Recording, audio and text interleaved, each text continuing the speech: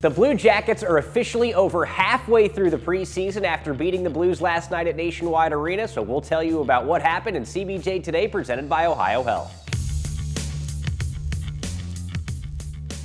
Five different Blue Jackets scored the game last night as they secured a 5-3 victory over the Blues, and it was great to see the big players contribute. Now it's going to be a mad dash to the finish of this preseason. The Blue Jackets have three games in the next four days. That starts tomorrow night as they welcome the Buffalo Sabres to Columbus. 7 o'clock puck drop, 645 pregame coverage starting on 97.1 The Fan, and you can also watch the game streaming at bluejackets.com. Until tomorrow, I'm Dylan Tyrer saying, Go Jackets.